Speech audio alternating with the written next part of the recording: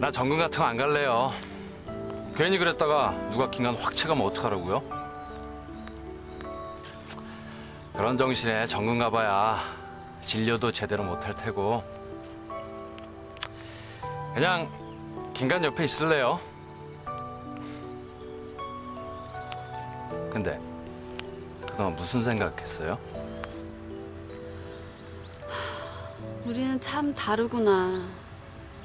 근데 이렇게 달라도 서로 좋아할 수 있구나. 뭐 그런 생각?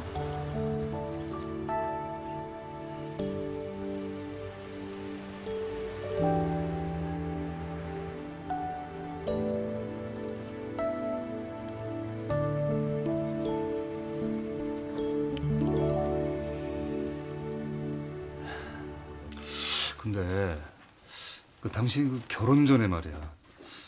그 연애고 선이고 내가 유일하다지 않았어? 30년 가까이 되는 얘기를 가지고 이가 왜 이래? 그 선봤다는 이가 누구야? 왜요? 우리 결혼 1등 공신한테 상이라도 주시게? 아니 누구냐고. 아이고, 아니 뭐 다 지난 일인데 뭐때 누구야 그게? 아이고 참 주책이네 정말. 아 여기 사람이었어? 아, 말좀 해봐. 아참 긴간 핸드폰 한번 줘볼래요?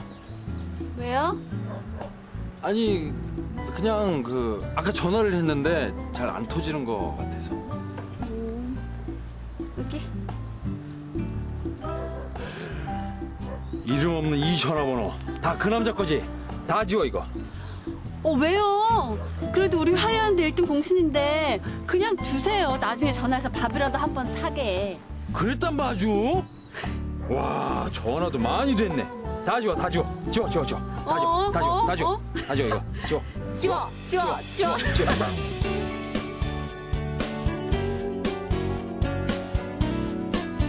할머님한테 아시라고 그런다고? 할머니 결혼하실 때 데리고 온 머슴이래요, 어머니. 아, 안녕들 하세요.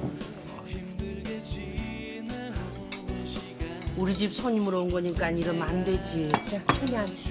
할아버지 가방에 카- 칼이 있어요. 칼? 젊었을 때는 술만 취했다 하면 막 동네고 여 형님네고 어디고 막 돌아다니면서 그래 배를 부리고 하더라. 전과? 아까 그걸 가방이고 뭐고 싹 다 없어? 애들 아무 데도 안 왔다던데. 우리 애들한테 무슨 일 있으면 어쩌고.